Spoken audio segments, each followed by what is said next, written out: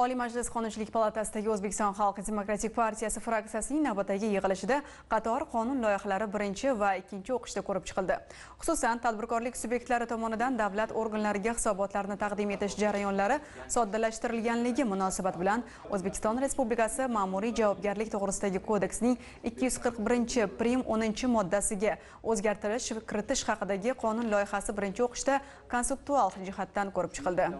prezidentimiz qarorlaridan kelib chiqib qonunga o'zgartirish kiritilibdi endilikda davlat organlari tomonidan yagona ro'yxatga kiritilmagan o'sha tadbirkorlik subyektlaridan hisobotlarni so'rash ya'ni soliq moliya va boshqa hisobotlarni so'rash shu bilan bir qatorda ushbu yagona ro'yxatga kiritilgan hisobotlarni muddati yoki boshqa bir tartiblarga zid holatda so'rash bir aniq bir e, javobgarlik belgilanmoqda ma'muriy javobgarliklar belgilanmoqda. Bu albatta kelgusida yurtimizda tadbirkorlik subyektlarini yanada rivojlanishiga ularni huquqiy qonuniy manfaatlarini mustahkamlanishiga xizmat qiladi.